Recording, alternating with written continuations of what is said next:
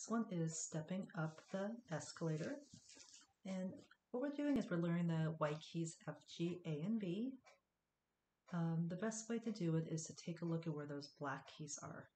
So if we can find the three black keys, uh, we can go and find your front door, garage, attic, and backyard. So in this one, we'll be using our fingers three and two with your left hand, and fingers two and three with your right hand. And we're going to be starting at a lower F, G, A, B. And we're going to go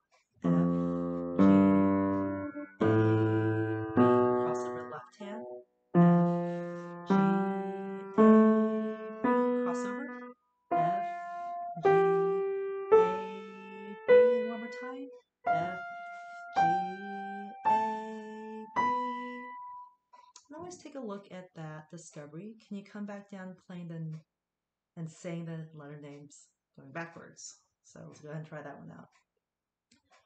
B